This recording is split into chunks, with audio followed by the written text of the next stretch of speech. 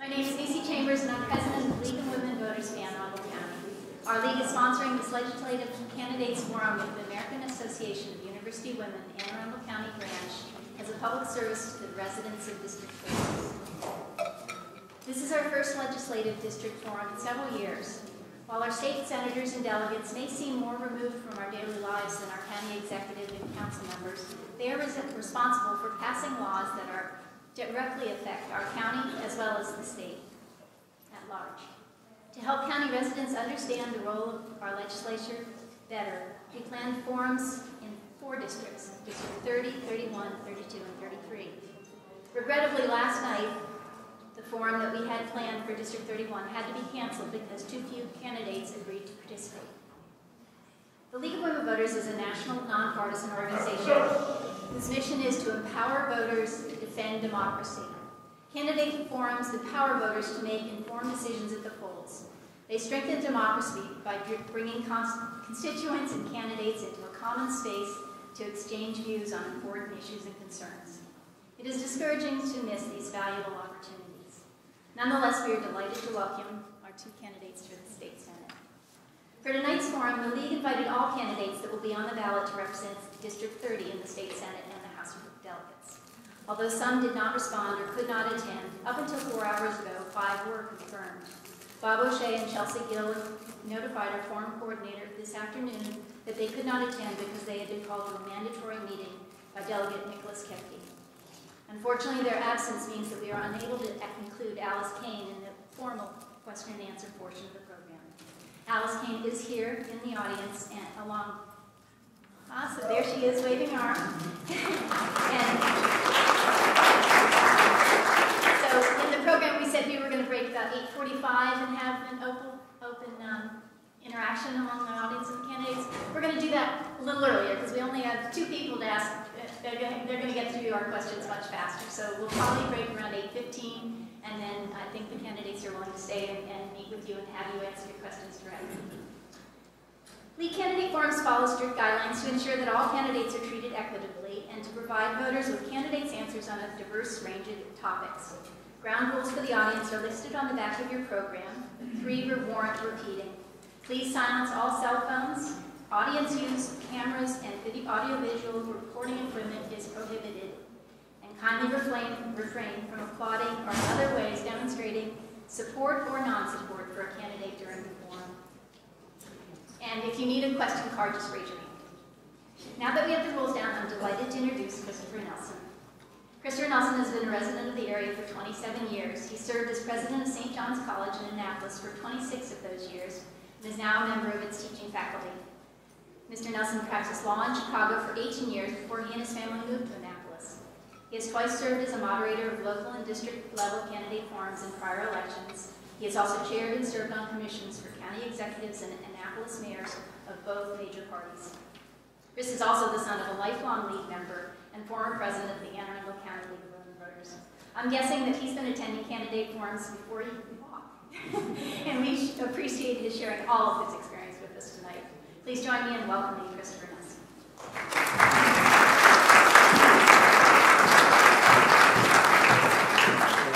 Thank you. Uh, Let me just say a few more preliminaries before we get started. And I know that there's nothing more important than making sure that we have the mics on right. Uh, I tested these with my voice, but it may be that it's a little different for others. Can you hear me clearly in the back? Should we all test Okay, it? well, let us know and wave if there's any difficulty with these other mics as well, or if you want to just say testing to make sure. it- Testing. Can you hear me? Everyone can hear me? It's great. Testing. Yeah, I think with the second microphone, you may need to be a little closer Okay. to the mic. Good. Uh, The forum tonight will be, will open with a single question that we'll put to both candidates. The question was prepared by our local uh, League of Women Voters of Anne Arundel County, and it's been shared with the candidates in advance. Each candidate will have two minutes to respond. I'll begin with Ms. Elrith, Elfreth, uh, and moving uh, alphabetically to Mr. George.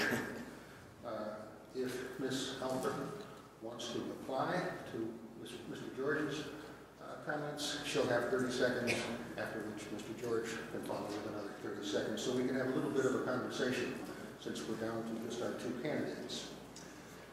Uh, The league has supplied us with timekeepers who will flag the candidates to let them know when their time is drawing to a close. So they'll flag you at uh, 30 seconds and at 15 seconds, and then that big red stop sign will come up, and we'll ask you to observe the time limits. Uh, Candidates will then entertain questions submitted by the audience. Representatives of the league will gather these uh, written questions on the cards that are being passed out or have been passed out. And uh, these will be screened by people at the front table here for clarity, and duplication. Uh, We'll then bring the questions to me and I will address them directly to the candidates. Candidates will have two minutes to respond to these questions, and if replies are called for, another 30 seconds. Our goals for the evening are to afford candidates a fair opportunity to respond to the questions and concerns of the audience, uh, and to have this accomplished with civility and respect from audience and candidates alike. Uh, So just a quick reminder, it's not a a forum for political or candidate rallies, and we'll ask that you hold your applause to the end. Uh, As we'll be shortening the length of the forum to about an hour of questions, I'll bring things to a close a little bit after 8 o'clock to give the candidates then two minutes each for closing statements, uh, followed by an opportunity for you to meet floor. Uh, So let me briefly introduce the candidates, and they'll be able to say something more about themselves as the evening progresses. Uh, Sarah Elfreth, Democratic candidate for the Senate from District 30, has worked as a government affairs director with the National Aquarium and senior director of university projects with Margrave Strategy. She's the president of District 30 Democratic Club. Ron George is a Republican candidate for the Senate this district. Uh, With his wife, he's the co-owner of Ron George Jewelers in downtown Annapolis. He served in the Maryland House of Delegates from 2007 to 2015. Both candidates have considerably more detail on their websites concerning their backgrounds, positions on issues, and volunteer political activities. So, we go to the first question. It is on your program. On the second page, but I will nonetheless read it. The Maryland Constitution requires that state legislative districts be compact, contiguous, and give due regard for natural boundaries and political subdivisions. It contains no provisions or standards for the drawing of congressional districts. The congressional district maps adopted by the Maryland General Assembly following feedback here. Uh, following the 2010 census have been repeatedly challenged by state voters. As a member of the General Assembly that will oversee the next congressional redistricting cycle, what specific measures do you enact to address voters' objections and improve the redistricting process in Maryland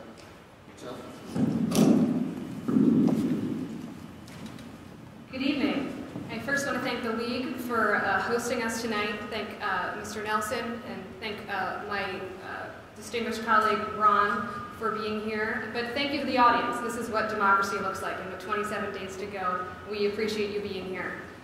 I'd like to take a note and just reiterate that Alice is here, and I encourage you to get to know her after the fact. And I think Mike Shea, our, our Democratic candidate for delegate District 30B, might be coming a little later as well. I encourage you to know him. To the question, there's uh, no arguing that there is a general sense of discouragement uh, with our political process at the national level. just a minute, we're, we're correcting that sound. Okay. I want to give you a few more seconds while we make the adjustments. Try it again. Is this better? Thank you. Uh, there is a, a sense of discouragement at the national level with our political process, and part of that stems from uh, having a gerrymandered districts right here in Maryland. It's imperative as leaders of our state that we, uh, when we look towards the 2020 census and the following redistricting, that we employ a nonpartisan commission to take the politics out of redistricting, the redistricting process. But it's also incumbent upon us as leaders of the state to influence our surrounding states to take the same measure. A Potomac compact, perhaps with Virginia or north to Pennsylvania, Maryland has led the way in so many ways when it comes to cleaning up the Chesapeake Bay and organizing the original Chesapeake Bay program. We can again be leaders here in influencing our other states, just as we need to be leaders when it comes to stemming the tide of gun violence in our communities, influencing our surrounding states to, to take a leadership role in the trafficking of illegal guns that come into the state. We can be leaders here in Maryland on redistricting, on Chesapeake Bay cleanup, and on stemming the tide of gun violence. Thank you. Mr. George. All right, first of all, I want to thank the League of Women Voters. And I want everyone to know that I've been in other debates with them, and they truly are nonpartisan. They respect the process, and uh, I immediately said yes uh, to this debate. And uh, so I thank them. Uh, a lot of work goes into organizing it, and I wish everyone were here. Um, I will let, let you know this. I received an award from the League of Women Voters in 2013 and 2014 to stop the gerrymander. I led the fight. I had the House bill to create a nonpartisan uh, commission uh, that would oversee it. And then I constructed it in such a way uh, that I did get uh, uh, the uh, Democrats, Republicans on board with it. but there was no doubt that the Speaker of the House and President of the Senate did not want it to go forward. Um, so then, as the session ended in 2015, I led the fight, or 2014, I led the fight to bring it to the referendum Anne Arundel County had more signatures than any other jurisdiction in the state. I used my two locations of my jewelry store. We had lines going down the street. Democrat, Republican, it was nonpartisan. It's a good government issue uh, to, to please, you know, stop the gerrymandering and to get it on the ballot. Unfortunately, the Secretary of the State was very partisan, and he gets to choose the wording that goes on the ballot. So he took the wording that was from the bill, and it said that voting yes will change the way it's drawn.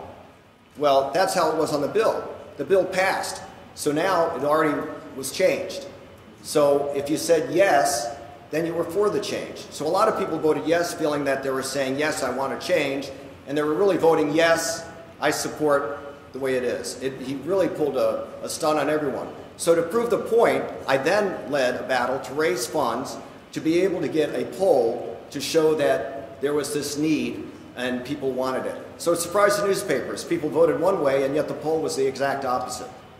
Um, I'm very much for it. Uh, the, by, by, the way, the version of the bill I put forward is the same one Larry Hogan's been working on, and I fully support him in this. And I'm not going to wait for what other states are going to do.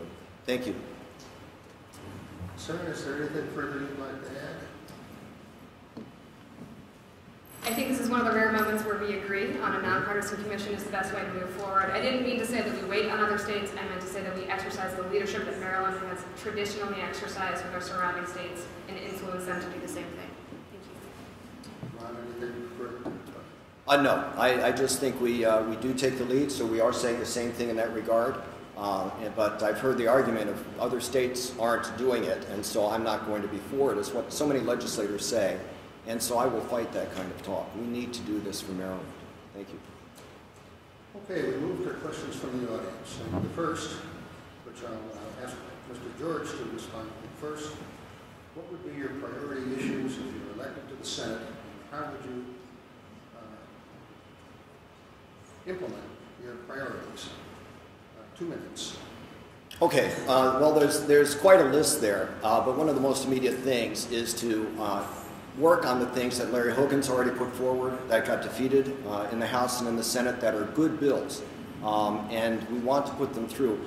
I worked on the More Jobs for Maryland Act, and I worked that through the Senate, through the House uh, last year, and we want to continue that and grow that. Uh, it allows us to be able to put uh, improvement zones and businesses into very poor areas in Baltimore City and other places to help bring them back. And uh, somebody said, oh, well, that's, that's corporate uh, welfare, that you're going to give them a big tax break. No, they're willing to take risks to go in there and create these jobs. It's a risk to them and their employees, and it'll take security and other things. And so I'm for that. I'm for expanding that. I think that's an important one. Um, I hear a lot of things going door to door. Like Sarah, we've knocked on several, several, several thousand doors. Uh, about 18,000 have received our literature, and uh, we haven't stopped. Of course, I started three years ago, so I think you've done very well over, over the last couple of years. Um, so uh, finding out the constituent service issues was really important, and there's quite a few of those bills that I'll be putting forward. Uh, one thing that's really important to me is the backlog that we have of traffic on the peninsulas. And it's very important to me. That's one thing I'll be working on. There are some solutions, some issues. I want to really have and see the full study on that and the plans for it, especially Mayo Peninsula. I had it, I was the one that came forward and I put a turn lane onto Muddy Creek Road. I got that to be put back in the budget and, uh, and, and, and to get that done. Uh, but apparently they just did temporary one. Now there's a sinkhole. They never did it correctly. And so I really want to push uh, for Mayo uh, Peninsula to get things done. Uh, the opioid crisis is very important to me. I have a degree, a master's degree in uh, clinical psychology, and I'm anxious to help uh, with those issues. I like what Larry Hogan has been doing and putting forward, and uh, he will have my full support. Thank you. Alfred? Like Ron, I've knocked on uh, tens of thousands of doors in this district and asked voters one simple question. What issues matter most to you and your families? And without a doubt, resident voters respond that we have some of the best schools in the nation right here in Maryland, but not every child and not every classroom has the resources they need to succeed. Next year, we have a once-in-a-generation opportunity to rewrite our state's education funding formula. And I know that everybody in this room can agree that public education is a public good. Uh, my goals next year when we rewrite that fund, funding formula are, are numerous. First, I believe in investing not just more money, but investing money in the right places. Universal pre-kindergarten. In Shadyside just a few weeks ago, parents lined up at 6 a.m. to get their child a spot, a coveted spot in one of the very few pre-kindergarten classrooms, and only uh, one-fourth of those parents were able to get their children in one of those, those classes. I believe in paying our educators what they deserve. We lose so many great teachers to other jurisdictions that pay more money, and we need to invest in keeping our, our talented and experienced teachers right here in Anne Arundel County classrooms. I also, and Ron and I agree on this as well, I also believe strongly in getting uh, more career and technical education into every classroom so that students have a pathway, whether that's college or apprenticeship programs in the military, so that high school is an eternal experience. I'm very proud to be endorsed by the Teachers Union and plan to be a strong advocate for our public schools next year. Secondly, uh, continuing our progress on the Bay and making sure that regardless of what happens with the Bay program funding in Washington, D.C., that Maryland continues to be a leader when it comes to investing in oyster populations, in mitigating that overdevelopment development that causes so much traffic throughout the district by strengthening the Forest Conservation Act at the state level, protecting our critical areas, and finally, investing in renewable energy and tackling climate change head on. I live at the bottom of the city dock in Annapolis, and I've had a, a very hard time getting home the past few weeks because of sea level rise that threatens many parts of this district. So the bay, the environment, jobs, many, many things, very difficult to answer in two minutes, but those are my issues. Thank you. You're actually going to get a chance to elaborate, if you like, on that, because the next question comes to you first, Ms. For two minutes. What efforts are you willing to spearhead to clean up the Chesapeake Bay? Wow, thank you. I was a little ahead of the game there, but I've spent my career working on Chesapeake Bay issues. I served as uh, head of government affairs for the National Aquarium in Baltimore, which was a very cool job. I got to interact with sea turtles and dolphins, but I also got to work on fisheries issues. I had the opportunity to work on a build a banned styrofoam, plastic bags, and bottles that clog our waterways and harm our bay. Uh, we need to do better when it comes to investing in, and I mentioned oyster aquaculture, making it easy to oyster farm. It's a win-win-win. Supports small businesses, it cleans the bay, and we all have delicious local oysters to eat. We can do better at protecting those critical areas, strengthening the state laws to make sure that counties are actually doing their job in enforcing critical area laws. Uh, and of course, I mentioned uh, renewable energy. The, the top two fastest growing jobs in the nation, measured by the Bureau of Labor Statistics, a nonpartisan uh, organization, were solar panel manufacturing and wind turbine manufacturing. This is about strengthening our economy while doing right by our planet at the same time. And we have an opportunity next year uh, to continue the path that Maryland has led on investing in renewable energy. Thank you, Rich. Okay, well, Maggie McIntosh, who headed the Environmental Committee, uh, nicknamed me back in 2008 the, the Green Elephant. And so that kind of stuck a little bit whenever I've come up with things. Um, in 2010, I put forward the Energy Net Metering Bill uh, to create uh, what it, it allows uh, municipalities, was for municipalities to put uh, renewable energy credits, credits towards renewable energy. And it would take probably seven or eight years, but they'll save up enough that they can then put up wind turbines or, or solar parks. And so Crisfield, which is the poorest area of the, of the state, on the lower eastern shore, uh, on the bay side, has enough wind. It's one of the few places, three top places that has enough wind. And they were having a problem with the power and getting uh, energy. And I put forward energy net metering, and I went to them with the idea, and they came and testified for the bill and helped to get it through. And I was part of the celebration a year ago of the opening up of the wind turbines down at uh, down down in Crisfield. Uh, nobody else can claim that kind of success on a bill. Uh, there are solar parks that are going up from that too. It's not the only way, but it was a help, and it didn't raise taxes or anything like that. Like many bills, people want to know how are we going to fund it, and all of a sudden there's a big tax increase included. There are answers uh, to do that. Also, my waterways bill in 2008, and my waterways bill, the second edition, which came out in 2012. Uh, I lockbox that money. The other waterways fund get, would get robbed all the time. I lockbox this, and it goes to improving the bay, and the bay is the cleanest it's been in many, many years. Um, as you know, um, I also had the idea to put wind energy at Greenberry Point. We came very close to it. My biggest problem is it takes NAVFAC in Washington, the Naval Facility Command, and other locations uh, uh, of the Navy to all come together. So I had everyone ready. The Naval Academy has nothing to do with that property. It's an NAVFAC facility that's on the north shore uh, of the Severn. And uh, I had them all come together and in favor of it. And then before you know it, after two years, they're all being moved around again. Then I have to start at square one again. Uh, there's a grid in place. I think it's a great, great idea. I'll just stop right there. Thank you. Thank you. Just a quick uh, response.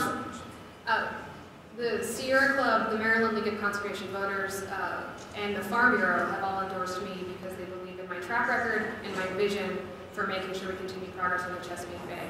Um, so the Farm Bureau was a, was a surprise, frankly, because it's a traditionally more conservative group. But when I sat down, we sat down together, we ultimately came to the same conclusion that we're all invested in the same thing, which is a clean, healthy Chesapeake Bay, not just for us, but for generations to come. 30 seconds, Mr. George. Uh, it's created quite an outrage with uh, the farmers in South County uh, because Sarah was resisting them on all kinds of things that they use, uh, the neonicotinoids and things like that, instead of giving them a slower path to come out of it. Uh, finally, the bill was changed to just labeling, which was good. Um, so they're all very upset about that. The speaker and Sarah were both selected, and uh, it's, it's, it was kind of an odd arrangement, and um, they are suspecting there was something else going on there. But uh, yeah, I, we, we just don't know. We have people from the board. They believe that Steuart Pittman, who was on the board, had a lot to do with it also. Uh, so that whole thing, just it's, it's a wash. Uh, so I'm, I'm just going to leave it there. But uh, when you go to the farmers, they all can't believe it. They're all very upset about it with their own bureau.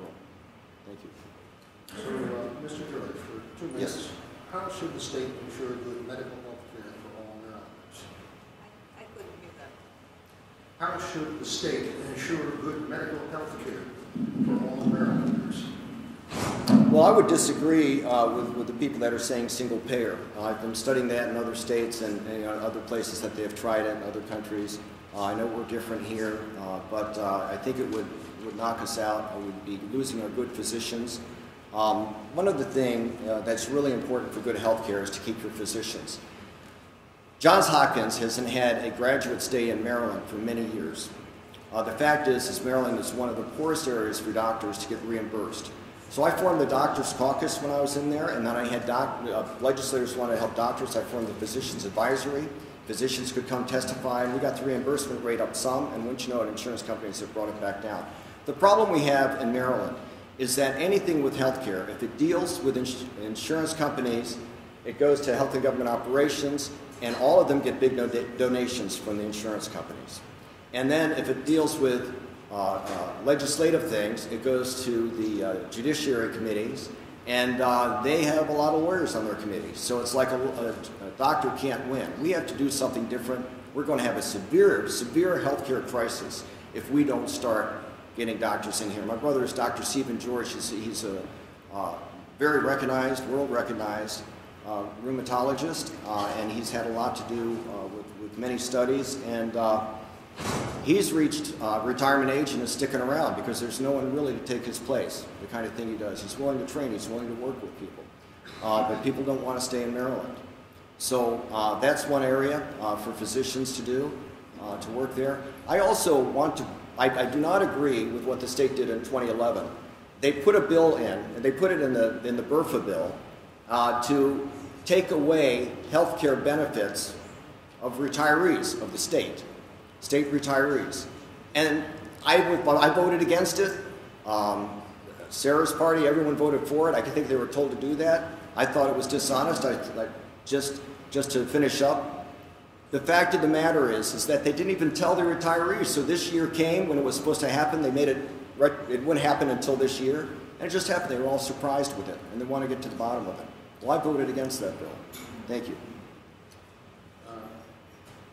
Alford, uh, how should the state ensure good medical health care for all Marylanders? Two minutes. Maryland has always been a leader on affordable and accessible health care. We had many of the protections of the Affordable Care Act before the Congress made, uh, made that law a reality nationally. Here in Maryland, we have the all-payer system. It's unique the, to the 50 states, and it, it's a wonderful system in which all ratepayers, private insurers, Medicare, and Medicaid uh, pay the same to hospitals. So that does a number of things. It keeps costs down for all of us, taxpayers, hospitals, insurers. It also ensures that hospitals have a greater stake in making sure that you get and stay healthy. That's resulted in a number of uh, wonderful things in our community. Right here, Anne Arundel Medical Center opened up a clinic right on Forest Drive that serves 6,000 patients a year. You probably drive by it every day, didn't know it existed. It serves mostly underinsured and uninsured people, and it keeps them healthy. It serves as a primary care uh, place of medicine, and it keeps them out of emergency departments that are costly for everybody involved. We need to continue those innovations here in Maryland, uh, make sure that we protect that federal waiver with this federal administration, but we can also do more.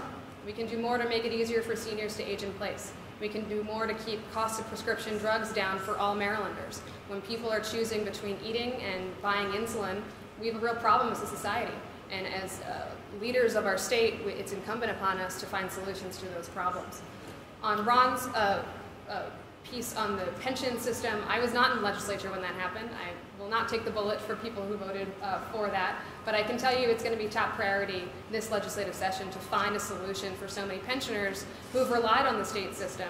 Um, we're send, asking you to send us to Annapolis to find that solution, and I promise you that we will. Thank you. Yes, if I may. 30 Um, yes, the all-payer system, you know, I was getting to that and I don't realize, it feels like time's going faster when I'm talking and I know it's not. It's just when you're up here, that's what it seems like. Um, the all-payer system is very important and the fact that we got a stronger extension on that and how that works and, and, and firm that up is huge for Maryland. Uh, it's very good and I thank Sarah for bringing that up. Um, so that's where, that's where we are. I mean, we're one of the better systems, but how do we get health care for all? She mentioned the clinic out on Forest Drive. Uh, Dr. Friedman is, was a good member of our doctor's caucus, a very strong member, and I helped him on many issues to get the first clinics open when he was trying to do that sort of thing. Thank you. Ms. Alford, anything further? Then uh, this one to start with Ms. Alford for two minutes. To what extent should the state support private school education? I am a proud product of public schools, so is my whole family. I had the good fortune of earning a scholarship to Towson University, and I believe that public education is the best investment we can make as a government and as a society. Uh, there have been a number of measures over the last few years to use public tax dollars to pay for private and religious education.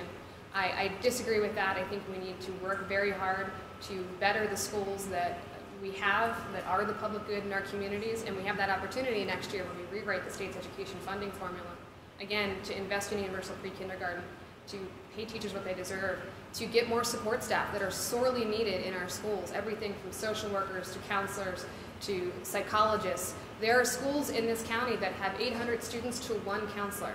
Now that's not doing everybody, anybody a service. Frankly, it's a threat to the public safety of our schools, and we need to use all of our public dollars for public schools. George. Well, I also know that uh, many types of education work for many types of people, and everyone's paying taxes. So it's not really taking money. Sometimes when you talk about giving a little bit of a break uh, to the, the to the some of the private schools, and Saint, I'm talking about like St. John's College. Now, uh, we have a person here who's president of the college for many many years, and the Sellinger grants are really important to help keep them going. Uh, and many people go there. They want to keep the tuitions as low as possible. It's not necessarily taking money away from the public school system to do that. And that's what people are thinking that it does. Uh, the Sellinger grants are in their own category and are treated quite differently. Um, so I do support it uh, to an extent. You certainly don't want to go over the top, but I would hate to see many of these private schools uh, disappear, and uh, I think that's important. Uh, our public education is important. We know that uh, there's going to be asking for big increases again, and Sarah's mentioned this a couple times. One thing we have in Maryland is we have the highest administrative positions in the country. Um, of the top 10, four of them are Maryland jurisdictions. And it's true in the top 20, there's, there's uh, more than that. I think it's like almost eight of them, 10 of them, nine, eight to 10 of them. Uh, the problem is, is we have so many administrative positions, so much money going there. I'd like to see that money go more directly to the classrooms and stop growing all of these positions that aren't dealing with the classroom. The teachers need that money. We raised the money that was supposed to go to the classrooms, and it seems to be going someplace else. So that's the main, main thing for me is to make sure money goes more directly to the classrooms. Um, I was part of it when we increased the, the funding last time. I saw it go up, and I saw problems in the classroom. Also, the, the schools that we're building are becoming such expensive Taj Mahals. We're overspending on the construction of the schools. Uh, you can look at Severna Park High School. I fought to help them get it too, to get a school there, because they were on the list a long time. Seemed to get dropped down, so I ended up throwing support behind it. But I was surprised at the amount they decided would go there and the type of uh, building that it is. You can build good schools without making it a Taj Mahal. Marble, you know, you don't, you, you can build a good school without doing that. Thank you. 30 seconds, Ms. Elder. To clarify, I was referring to uh, public money going to K through 12 private schools. When it comes to the Sellinger formula, it is one of the more uh, elegant in its beauty ways that we fund our higher education system. I had the opportunity to be appointed by the governor to serve as the student member of the University System of Maryland Board of Regents, working on uh, setting tuition policy, hiring and firing university leadership. The way that we fund higher education in the state is beautiful. We have one set amount for our uh, comprehensive four-year universities and research universities that is directly tied to the amount of funding that we give to our great private universities and directly tied to our community colleges. And I think that is a tremendous formula and has led to the fact that we have one of the best higher education systems in the country. Thank you. Mr. George, 30 Um, yeah, so just let's not, when we talk about uh, school going, money going to private schools, we are talking about Sellinger and everything all the way down, because Sellinger grants are suddenly cut some years during the O'Malley years, unexpectedly, last minute, and the schools weren't able to prepare. Uh, so we have to make sure that we also protect that money also. Thank you. Okay, so this question now goes first to Mr. George. Yes. Two minutes. What initiatives would you pursue to address overdevelopment, traffic, road, bridge construction? Overdevelopment, traffic? Overdevelopment, traffic, and road and bridge construction. Well, I, you know, I, listen, I was in the legislature when all of a sudden, you know, we had a recession come, and we're supposed to be getting money, and Obama sent money over to be used on roads and bridges, and it wasn't. It was used elsewhere. And I looked at the money that was supposed to be going to roads and bridges all during those eight years. Nobody knew where it was going. Roads were not improving. What a difference it is with Larry Hogan in there. It's not because we're making a little more money. The money that was supposed to go there, he lockboxed it. He's trying to make sure that that money always goes to the road improvement and bridge uh, improvement. And I think we're getting there. I think we are. Um, I do see certain parts of the state. I see some parts of South County, uh, some, some things in the Annapolis area that we need to get onto the list, I will work hard for that. I served on the Transportation Subcommittee. Um, I worked on the plans for expanding the Severn River Bridge early on. We never got the last administration to go through with it. Thankful uh, this governor did. Um, and, uh, you know, we, we wanted to take care like, as I said before, the traffic in the peninsulas. There are some ideas out there, folks, and we need to get them out there and talk about them, get them on the table. Because, uh, you know, I said this, you know, uh, six years ago, I was saying, you know, we need to be proactive on, on roads and bridges, and we're not. We were behind during the O'Malley years. So we're still catching up. You're seeing a lot of improvement going on, but there's a lot of money being put towards from the Transportation Trust Fund now that's lockboxed in and being put to the roads. Uh, so we're going to get there. I will fight for it for this area. I, I don't like the fact of what's happened. I mentioned Mayo before and their traffic problems. Uh, if there's a medical issue and it's a certain time of day, you can't get out of there. Um, so I was part of getting the emergency uh, people down there. We have a, a center uh, where people could be treated immediately. And we also have a, a helicopter uh, that will be coming uh, that I worked on and we spoke about years ago uh, that can help transport people when needed out of that area. Um, is that it? I, I have two seconds. Thank you. Uh, District 30 is quite a diverse uh, place. We go all the way from the Broadneck Peninsula to Heritage Harbor, all the way down to Friendship. But there seems to be one unifying theme, which is that we are growing faster than many residents are comfortable with. And we're seeing that in overcrowded schools, we're seeing that in, in congestion on our roads, uh, longer commute times. We're also seeing that as a strain on our public safety officials when we have some of the longest response times in South County, and frankly, that's unacceptable. At the state level, we can do a number of things to mitigate that overdevelopment. Chief among them, strengthen the state's Forest Conservation Act. That was first passed in uh, 1991 or 92, I believe, um, and has not been strengthened since. Now that sets the bar for the type of forest that we can take down and the measure at which we replace that forest. Uh, I believe that we should have a one-to-one uh, system, just like the city of Annapolis just passed, that we protect contiguous and uh, forests, that are closest to watersheds, to make sure that we provide the natural filtration system for the bay that was here before we were. We can also, again, strengthen our critical area laws to cut back on some of that overdevelopment and mitigate so much of the congestion we're seeing on our roads, our classrooms, and for our public safety officials. Um, This question then will go to Ms. Elfreth first. Uh, Two minutes. How will you address making Maryland more business-friendly help make Maryland business economically competitive? It's a wonderful question. I spent uh, some time working at the University of Maryland on what's called the Greater College Park Project. Uh, we, our job was to make it a, a better university town for faculty and staff to live and walk closer to campus, to build startup spaces for so many of our wonderful companies that are uh, growing, starting and growing on university campuses, and provide them space so when students graduate, they can keep those companies here in Maryland, that tax base, that job creation, that innovation, and not in Silicon Valley. We can do a lot more of that type of work. We have some of the best higher education systems, uh, institutions, uh, including the Naval Academy. We have NIH. We have all the tools in our toolkit right now. We just need to make sure that we are keeping that talent here in Maryland, and we're making it as easy as possible for businesses to open and for good paying jobs to prosper here. Thank you. Yes, Mr. George. Uh, you said make Maryland more business friendly and, Competitive. and competitive. Well, thank you. As a business owner, and I've had my business on Main Street, Annapolis since 1991. I worked in businesses in the area since 81, uh, doing work for different stores. So I had a business at home before I went to the retail store. Um, I suffered uh, through a lot of uh, things going on, uh, Glendening years and during the O'Malley years, and we're starting to see some fresh air. Um, I would really like Larry Hogan to really go full throttle on uh, small businesses. I'm all about these small businesses and helping them grow. Uh, it's very difficult when you are very responsible for all your employees and all the health care. You know, I'm, I'm, I'm one person, I'm probably the only one running that signs the front of a paycheck, you know, uh, each week. Uh, it's, it's really important, I think, that people understand business. Uh, the mayor of Annapolis didn't quite understand it when he wanted to put the, the bike lane in in an area that was just made it too thin. The emergency vehicles couldn't go up, and he just wouldn't listen to us. He said, he said, well, Ron George just wants to park in front of his store. You know, uh, there's a disconnect there. Um, you might have good ideas, but you really need to vet them and work them out. I'm not against bikes. We can have bike lanes all around town.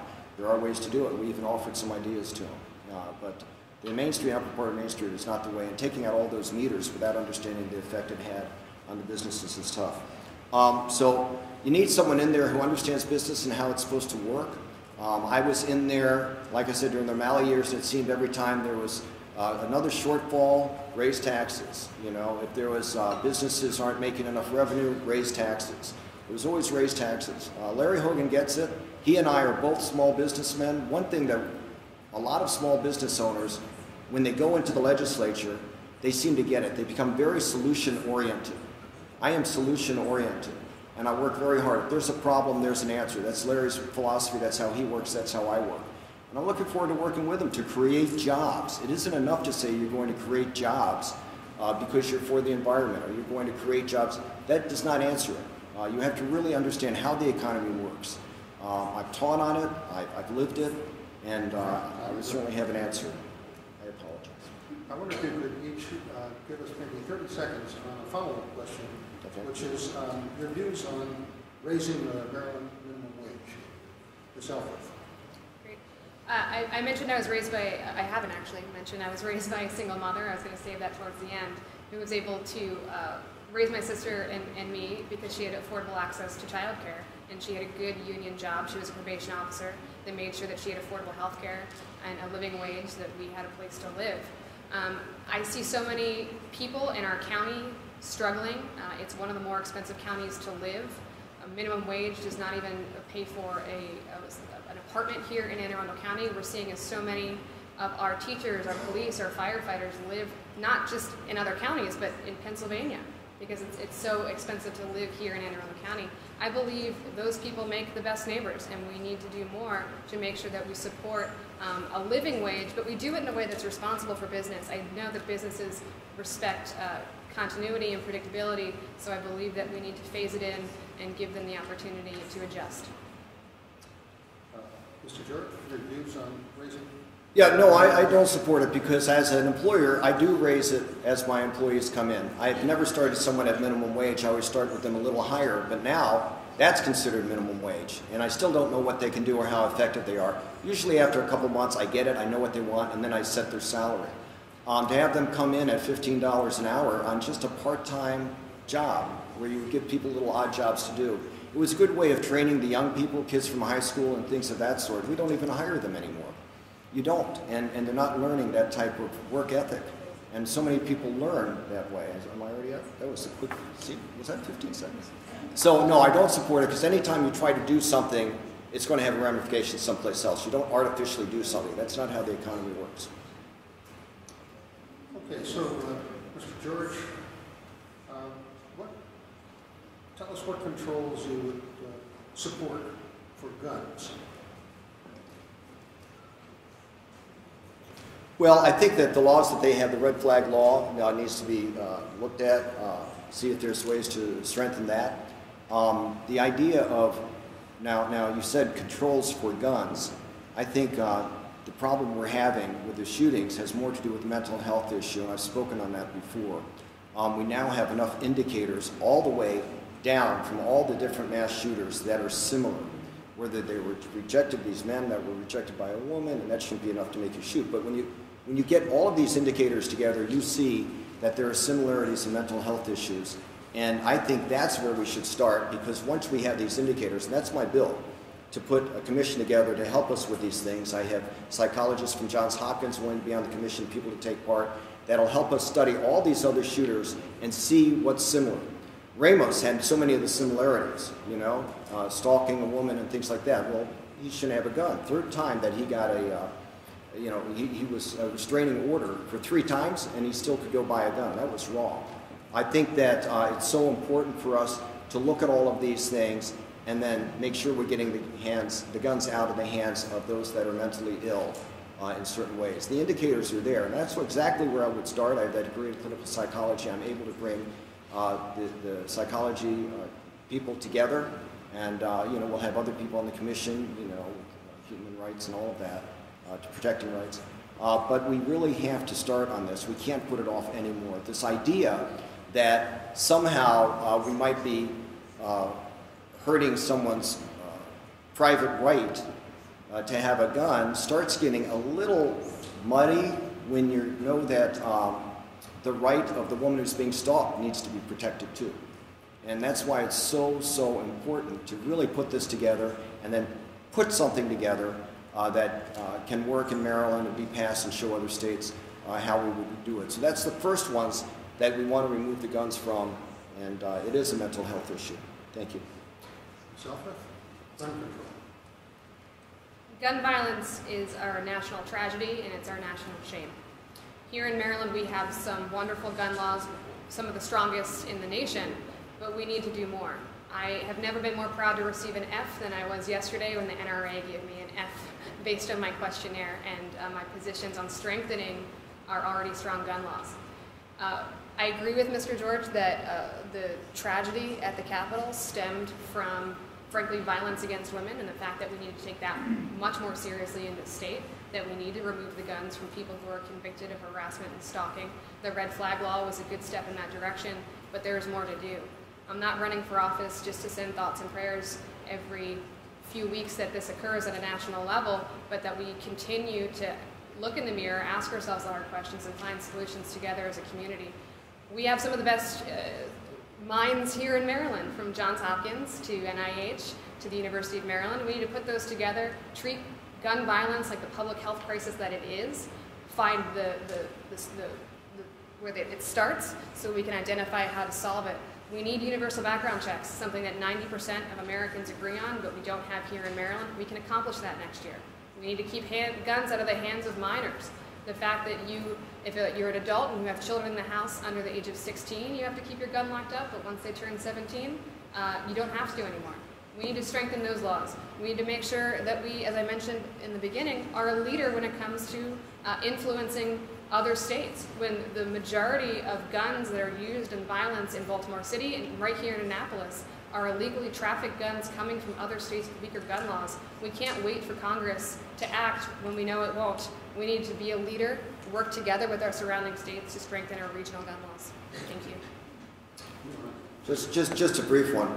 Um, in 2013, I had a mental health bill that I put in, and we had psychologists and everyone lining up for it, and it was getting a lot of attention. Sadly, O'Malley felt it was interfering with his gun law bill, and so he kind of shut it down, and it didn't really get the hearing it should have. Um, so I'm looking forward to getting in there. That, that's number one uh, as soon as I get in. Uh, we've already been working on the drafting of the bill, taking from my 2013 uh, bill, and expanding on it with what else we have and we know.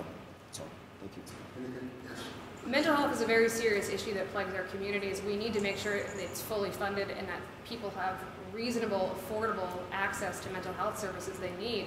But that is not the, the solution alone. It's not, uh, for lack of a better term, the silver bullet when it comes to stemming gun violence. And we need to have two tracks. We need to take it seriously. And frankly, um, I wasn't in the legislature, but uh, my opponent voted against a number of common sense gun laws that most Marylanders agree with. Everything from requiring licensing of handguns to, to banning assault weapons uh, here in Maryland. Please hold, hold the until the end, if you would. Can I respond since I got, got shot at at that time? No. I'll do it later. Yeah, Okay. let's do that. Take it for the closer, because we've got, to- we're never going to have enough time for all the questions that come in. Okay. Uh, But this one then uh, s- goes to Ms. El- Elfreth first. How would you strengthen police and civilian relations in the state?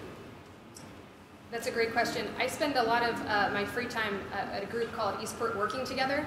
It's a group that came together after a, a number of violent incidents plagued our communities in Eastport. It's a group that brings together uh, folks from all sides of Eastport, but most importantly focuses on the children who live in public housing in Eastport. And we ask the question, what do you need? What's going to prevent you from getting involved in, in violence, or how can we help you as a community? And their answer was simple. We need mentors, we need jobs, we need people who care about us, we need a better school system. Um, we can strengthen police community relations. And by the way, the police are there. Annapolis PD has been a wonderful partner with that group. They're there. They often actually cook the food for our dinners and are part of that conversation. And it's groups like that uh, that are really making the difference in our communities. It is a very micro solution to a macro problem, but that's where the issues start, and that's where we need to find solutions. Well, I've done a lot of volunteer work, and I've worked in the inner cities, and I've worked with runaways and pushouts and people that were in gangs and they needed to be gotten out of gangs. Um, when I was in New York City, I helped uh, get women uh, who had uh, young women who had run away from home and they got pushed into drugs and then prostitution in New York City to get them off the street, to get them back home. We had done quite a few things like that. Um, and I have to tell you, the young people, when they really sit, you sit down with them and you really talk to them, and, and what are you going to do with your life?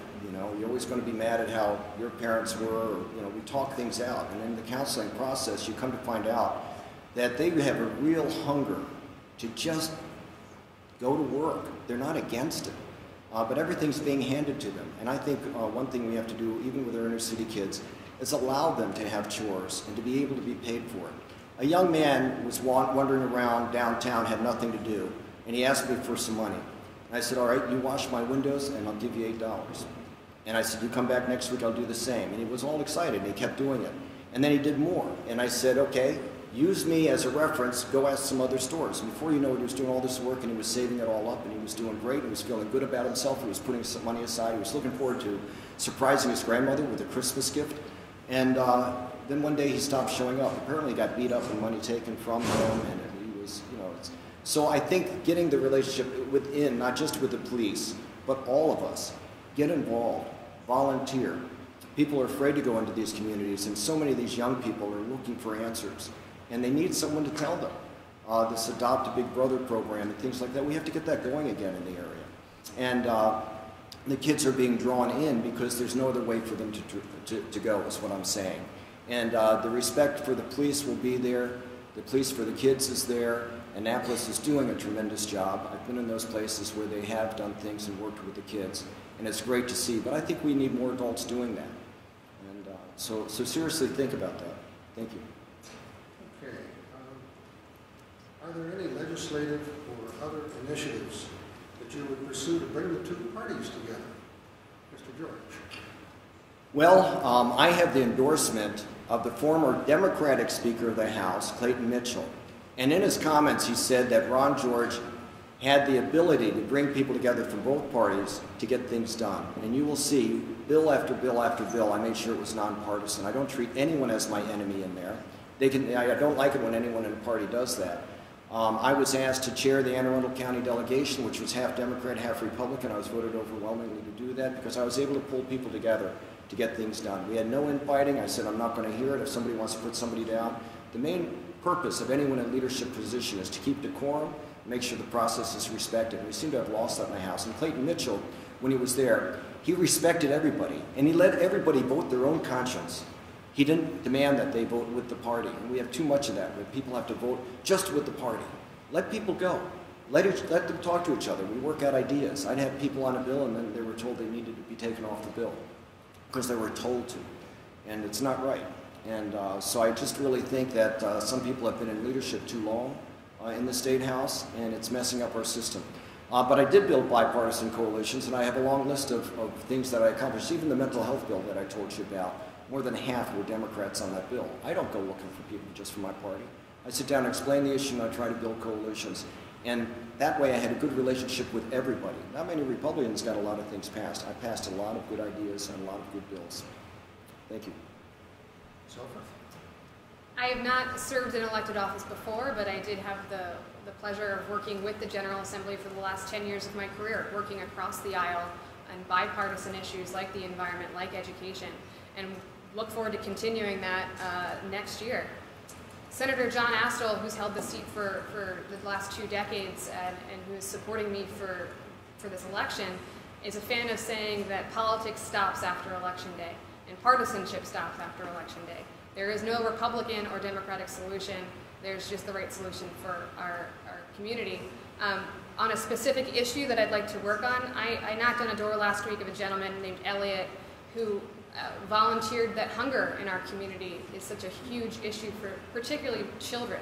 So many of our children go to school hungry on an empty stomach and find it very difficult to learn. To me, that's a nonpartisan issue that we can continue working on when it comes to um, making sure that the, the, schools that need it have all the funding that they need to provide um, not just uh, free and reduced meals at lunchtime, but also breakfast um, there are a number of nonprofit organizations like Backpack Buddies that are sending much needed food home on weekends for children. The fact that we live in a community that has uh, such a high percentage, I believe it's 13% of, of children, of young people, who uh, live in food insecure households, that's certainly a nonpartisan issue that I would like to tackle next year. Okay, we're coming to about five minutes from now. I'm going to ask you to uh, give us some closing statements. So I've got a number of questions that haven't been asked, and I'm going to ask you if you would take 15 to 30 seconds on each of these and see if we can't get through. uh, Okay. a few Lightning of them. round. If uh, if that's entirely unreasonable, just say so. Okay. And uh, and I can make an allowance for you, Uh, but then I'll make the allowance for both. What's your time on this? Let's put 30 seconds from you, but if you can keep it shorter, do so, because we'll have a little more time. So uh, what steps would you take to improve public transit? Uh, We're on to Ms. First. Uh, For too long, government has treated uh, transportation as uh, a city or a county issue when it's really about our region. I commuted to Baltimore and commuted to DC and lost countless hours in the car and traffic because there are not enough good public transportation solutions that connect people from where they live to where they work to where they learn. We can do a much better job thinking about it uh, regionally instead of uh, on, a, on a very myopic uh, jurisdictional basis. And uh, I commend Governor Hogan for staying true to the Transportation Trust Fund and investing in roads, but we also need to make sure that public transportation is a priority uh, as we move forward in our economy. It's an economic priority. Mr. George? One thing I've seen with public education is that it's in the wrong hands. You need a business person who really understands how to work it. The problem is, is that um, Annapolis, for instance, would have a bus and it would run a route, but it couldn't afford another bus, so the route would get so wide and so long, it would take you a long time to get where you were going, and pretty soon the ridership would sink down. And so I think by having smaller buses uh, for, for within town, you know, the, the minivans and things like this that just go back and forth in certain areas really are important. You could really get people around much better. I have some that do nothing but go from the parking garage up at the Circle, Taylor Circle to Annapolis and back, and shorter distances is would, would really help. Same question for both of you. This time it is, how would you go about funding these measures you've talked about? Uh, Let's say that we Mr. George first. All right. Um, you know, if, if, if you park at, uh, at the Park Place and, and you work downtown, it's only two dollars an hour. Um, you know, you could increase that an extra buck. That would help. People riding the bus would give a give a little bit towards it. It has to be self-funding in a way, but the big buses are so expensive, and so many of these ones, I think if they were smaller, they would work. But I think you could privatize them too. People would love to make extra money, privatize them, and charge a low, low, low price and make it work. And I think you can do that. You can keep it. You can set the prices what it should be, and let people do that. Make some extra money. I can be quick, using transportation money for transportation. Uh, again, um, making sure we're improving our roads, but also using that money for public transportation. The needs that, uh, particularly in South County, that didn't have any public transportation below Edgewater, and a group of wonderful community activists got together and started a bus similar to what Mr. George is talking about to directly connect people with where they work and learn and live. We can do more of that. Okay, Ms. Elfreth, do you support a second Bay Bridge on Route 50 in Annapolis? I do, um, but as a hopeful member of the General Assembly, uh, we need to also find a way to pay for that, and the cost of a new Bay Bridge is going to be quite significant. Uh, but I do if we can find a, a responsible, reasonable way and locations to pay for it. Mr. George? Uh, yeah, I mean, I was part of that transportation uh, committee while we worked in this, and we came up with a few different locations. One of it was closer to Baltimore, up near the top, uh, and, and it would go across, and that would alleviate some, because so many of those cars are coming down this side trying to come across instead of going around uh, the shore side. Uh, there are different ways to work it, um, but I think part of the problem is, like I said, the Transportation Trust Fund was rated for so many years, uh, and we didn't know where the money that was meant for transportation was going. And uh, I think that we would also get help uh, from the federal government on that because that is part of an interstate road. And uh, so we can work it all together. I think we need to start working on it. Thank you. Okay. Uh, For Mr. George, uh, 30 seconds again. Many se- seniors contemplate leaving Maryland because of high tax rates and uh, the state's inheritance tax. What would you do to encourage seniors to stay in Maryland? Let's take this for a minute. Okay. Um, the uh, state tax, now, now you're talking about, you weren't talking about the estate tax, you were talking about Tax rates and inheritance tax. inheritance tax, and there's two different, there's two different different things on that. Um, I led the, the repealing of the estate tax. Uh, the inheritance tax is something quite different, a different model, um, and uh, we certainly helped in that regard. Um, but I think that, uh, that I've said it's my number one thing, the number one tax cut I want to work towards is uh, on retirees. Uh, it needs to go down. Uh, so many retirees, um, the taxes have kept going up, but their income wasn't going up uh, for so long, and they're hurting uh, very much. And I think that's really the next area that we should look at is to help our retirees and keep them here, local in Maryland. Um, I also worked on a few other things to help retirees, and I'd be happy to talk on those at some point. But I, I think that's that's the most important thing is to cut that tax for them um, and and keep them here in Maryland because they give back in so many ways. And it's, it's important to keep them here, and it's splitting up families when you have people who work here with young families and they have a good job, and mom and dad have to move away, or granddad and granddad have to move away. Ms. Elfreth, one minute. This is a, a question I thought about in advance uh, because I often think of my parents. They recently retired and moved to Fenwick Island, Delaware. I have a beautiful home, they're near the beach, but at the same time, they often complain to me that they have to drive three hours for their doctor, that they have uh, terrible roads that are wreaking havoc on their cars, that they have something like 12 police officers to serve the entire county. And when they complain to me, I say, well, you kind of get what you pay for. Here in Maryland, we have some wonderful public schools. We have improvements to make on roads, but they're pretty decent. We are a leader in, in healthcare and protecting the Chesapeake Bay. I agree with Ron that we can make it easier for people to retire here, but we also can't make it a race to the bottom in competition with other states. We can take a leadership role, and again, I agree with Governor Hogan when he led the effort to ease the burden on uh, uh, taxing uh, pensions for both uh, military uh, retirees, veterans, but also our public safety personnel, firefighters, police. I'd like to continue to uh, make that easier for those retirees and other retirees to, to stay, live, and thrive in Maryland. We don't Okay. get follow-up to that. Um, Well, let me ask you to take a breath, and put your, your thoughts on uh, closing statements, Uh, and I'll just make a general apology, you know. These two have been going for an hour, and and there were to be another six or seven candidates at one point or another, and we're going to give them a little break and an opportunity for you to meet with them and talk with them informally, uh, just following the closing statements. We're all, we're both so aware of the time. Have you noticed how we're talking faster and faster? It's, it's amazing. We apologize. So we uh, opened with, uh, the first question started with Ms. Elfreth, so we'll have the closing statement, Mr. George first, and then Ms. Elfreth. Two minutes. Listen, I grew up here. I'm, I'm now looking to represent entirely where I grew up. Um, I grew up in Howard County, uh, but I spent my summers here in the southern part of the county and also Annapolis itself. I fell in love with the area. Happened to be up in New York City for a little bit, and I've met a beautiful ballerina, my wife Becky, uh, 37 years now, and uh, I said, you're going to love it. We're, we're going to Annapolis. And I came here. This is where I wanted to settle. It's a beautiful area, raising my children here. Uh, we've, we've enjoyed it very much. Uh, we have six grandkids, and they live far away, but they can't wait to come home to Annapolis. Uh, it's a beautiful area. It's in my heart. It's in my soul. And when I served in the state legislature, I want to recognize Debbie Yatsik, who's here. She was my aide for eight years uh, in the State House, and we were number one on constituent service. Uh, so anybody had a problem, uh, we, we were right on it. And, you know, we're going to carry that on. I'm, that's going to be uh, very important in my office. Um, people had problems. It could be with a different department in the state, they weren't getting the answer they needed. Uh, retirees, whatever the situation was, uh, we were going on that all the time. I had hearings to things, bills to work on, but always had the time for them. I'm accessible.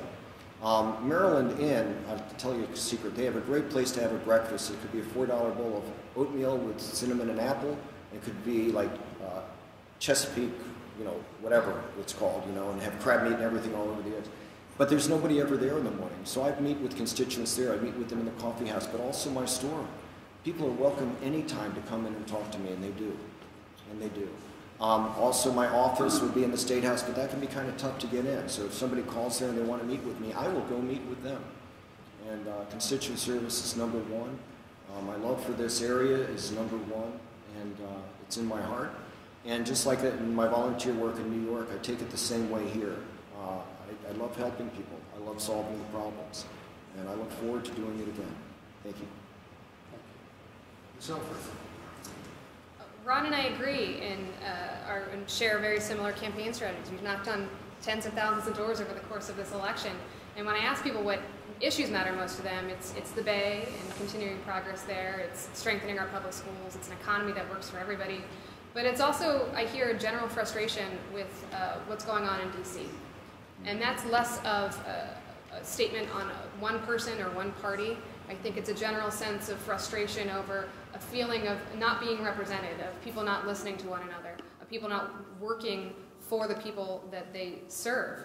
I can tell you that the type of senator I want to be is the type of candidate I've been, knocking on tens of thousands of doors, being accessible.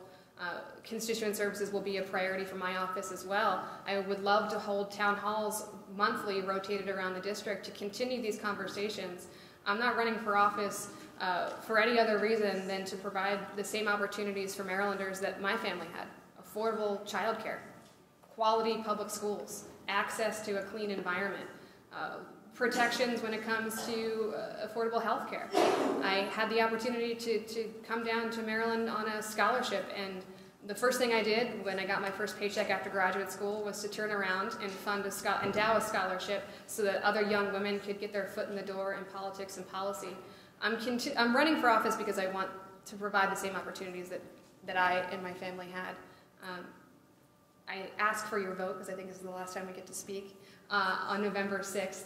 Uh, we have 27 days left. This has been a marathon of a race. I continue to look forward to speaking with you tonight in the future. Uh, and please know that I plan to be your voice in the Senate. Thank you. Well, Now it's appropriate to applaud and thank